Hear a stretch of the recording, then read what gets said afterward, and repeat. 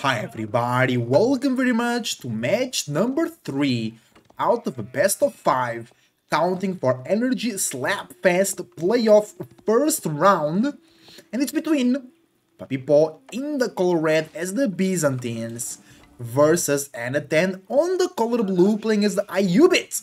The map is good old Dry Arabia and it's a pleasure to have you here with me.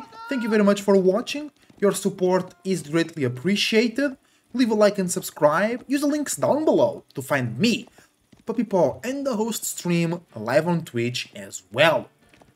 Other than that, let's talk about the matchup. First, it's match number 3, so two matches were already played, and if you watched the videos before, you know what's the story of the match so far of the set. If you don't know, pause the videos and I will tell you real quick. Pause this video, go watch them. You done so, you back, okay? Welcome back. So people won one game and Notant won another game. So it's 1-1, so still at least two more games to play here between these two players. And right now the Byzantines versus the Ayyubids. So the Byzantines actually have been proving that they are a very good civilization to counter fast castle strategies. Why? Because they can produce uh, they can produce units faster because of the cistern um, bonus. They can get that second cistern basically for free or literally for free. So then they can boost the production of units up to 40% and they can get some free units as well. So they, they don't need to invest so much into feudal aggression and then they can also get the RAM research upgrade faster as well because of the cisterns, right? And the, they can basically just attack earlier without investing so much in comparison to other units. So they slowly but surely revealing themselves to be the best civilization to counter fast castle strategies. Delhi as well, Delhi is really good at counter fast castle as well. But the Byzantine is like you don't need to invest so much, right? Now, Anotand might be knowing this, Anotand might know that his fast castle strat will not work and he might look to play Feudal Age.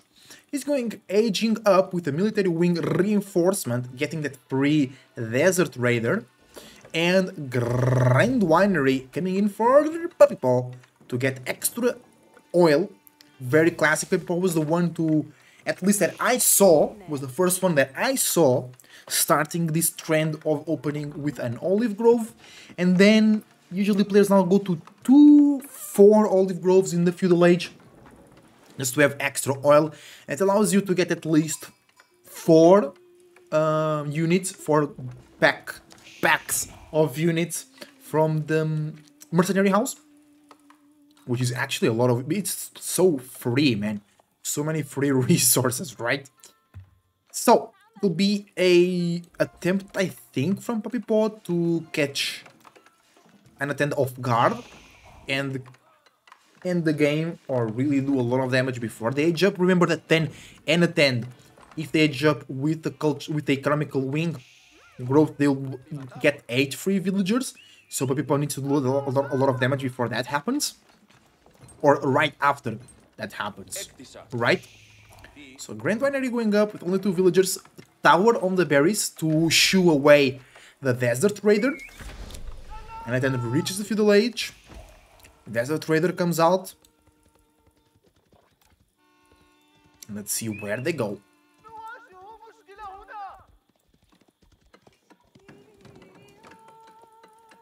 Two olive groves so far for Paw.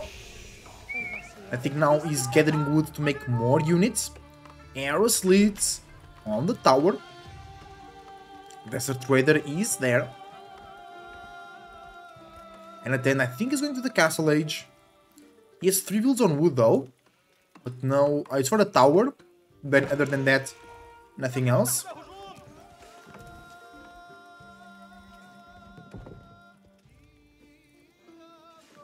Barracks coming in for the Puppy Paw. Some, some Limitane, Limitane, Limitane coming out.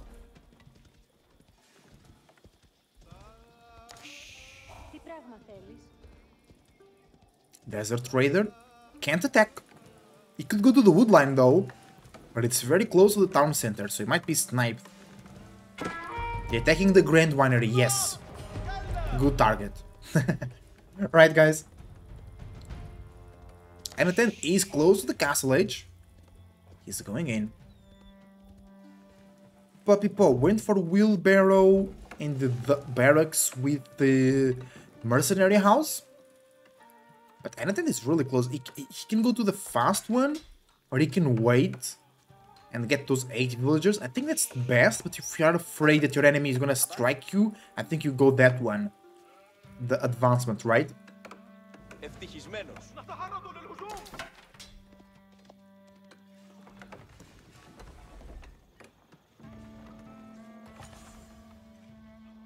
And he's going with a longbow contract, if I'm not mistaken. No, it's a javelin thrower contract.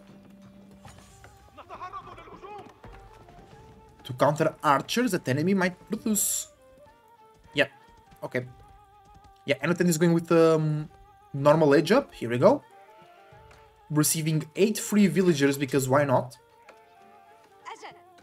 Right. More oil coming in from Puppy Paw. Three Limitane, Limitane, Limitane in the front of the battle. Four javelin throwers will be arriving soon as well. The tower is there though. Do we have a blacksmith here? For the Cheirosiphon? No. No blacksmith.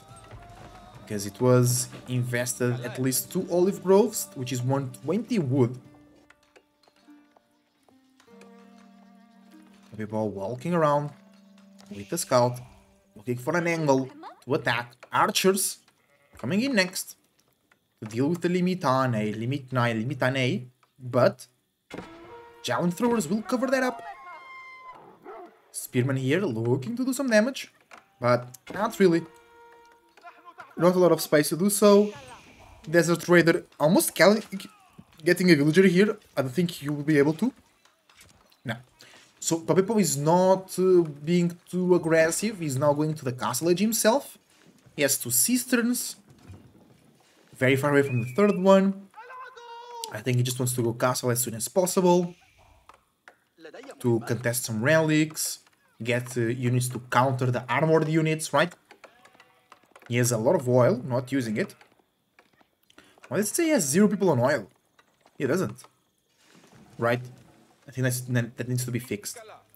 Because you don't have an oil resource, you only have the berries and the olive groves. And the oil is secondary resource, so I think the game will never recognize that you have people of, on oil because you don't have people on oil. You don't have your villagers don't go to oil. They go to berries or olive groves, right? And it then reaches the castle age. And the, wait, where there are the eight free villagers, taking it. Oh, there you go. Everybody speaking at the same time, it was funny. Walls coming in.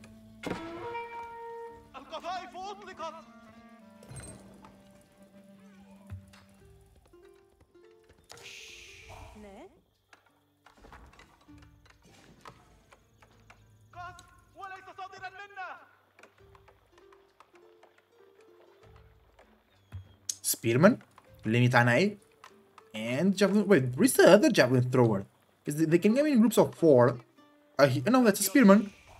Maybe he, he, he, he's in the base defending or something?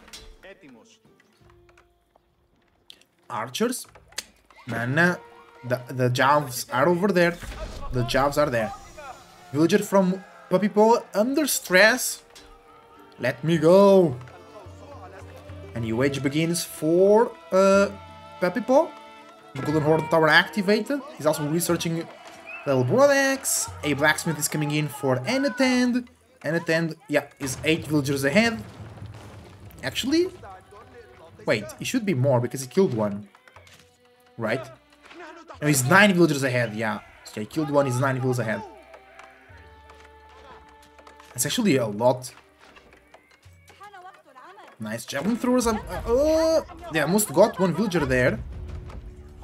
He's almost... Oh, being so annoying with the Desert Raider, bro. He, should have at least another one. There we go. Because every two minutes he spawns one, right? More Jav Throwers. And Jav Throwers also counter the Desert Raiders because they are ranged as well. And the Jav Throwers, they counter everything that is ranged. Doesn't matter if it's light, heavy, cav, infantry. anything. Jav throwers with the upgrade, now doing 10 damage plus 8. Versus everything that N10 has. So if Puppy is able to mass a good number of Jav throwers, he can kill everything.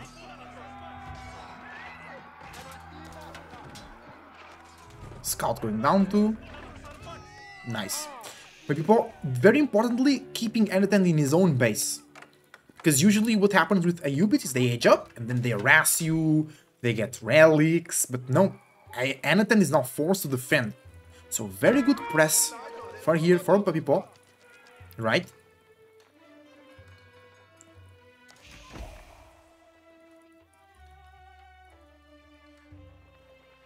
There we go. More units coming through. Puppy with almost double the units of Anotand. Anotand is now building one Dervish. He wants, the, he wants those relics. And where is the monk? There we go. Monk carrying the relic back into the oil machine. I wonder how they get oil from the relics. Maybe people get inspired. They work better. They are vibing in a higher frequency and vibration because of the relic. So they just... They work better. They squeeze more oil out of the the the the olives right? Or maybe the relic makes the olives grow fatter and bigger, so they have more oil to be squeezed at. Right? It's mysteries. Oh! Camel Lancer will take care of these Jav throwers. We probably lose four Jav throwers. On they can't snipe the Dervish though. We should have no vision on... Ah! Dervish comes in! But I don't think it's enough damage for the Jav from the Jav throwers. They take a charge. And yeah, the Dervish actually they move really fast. It's really good. But more units arrive here for Paw. He grabs another relic as well, which is down there. Ooh, that's good. That was like super far away. But more units also arriving from N10. A whole army of archers, 23 archers. N10 also grabs one relic for himself. Wait, that camel is walking a bit weird. Like his legs are too spread out. That's fine. See, this camel doesn't walk like that.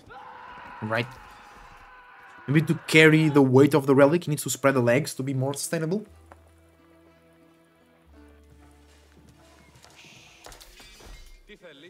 E feliz.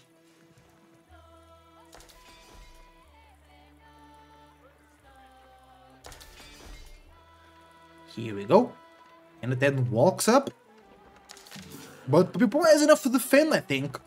But remember that the Ubits, they can build siege on the field.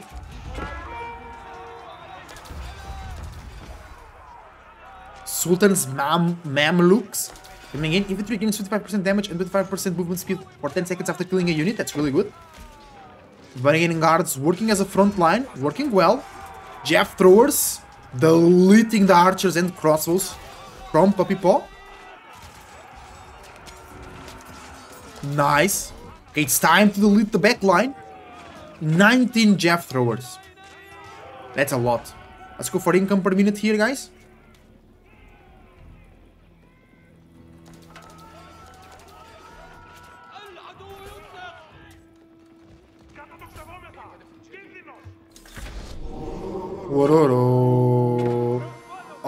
Reaction time.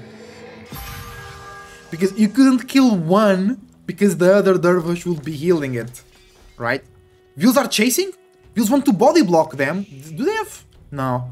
There is if there is no system here, if there was system, they could pop up Akritoi defense, right, and just delete them. Oh, Javelin, bro, they are two-shotting the Camel Lancers. Oh, because no range defense. Right? Because they have 4 ranged the Javs do 11 damage. So yeah. Oh! Villagers going down here. Desert Raiders, super annoying. But the people killed 4 units, lost 2. So they're still behind in villas. But they have oil, they have 3 relics. Uh, making more oil. So I think they're fine. Ooh, they're gonna find so many... Oh no, that's great for Puppy Paw. Horrible for Anotand. Losing more vills. They will lose more. Right? And Papipo is all over Anotand. Killed 8 villagers, so the bonus from aging up is not present for Anotand. Losing 9 villagers. Burning down, Papipo now burning down infrastructure.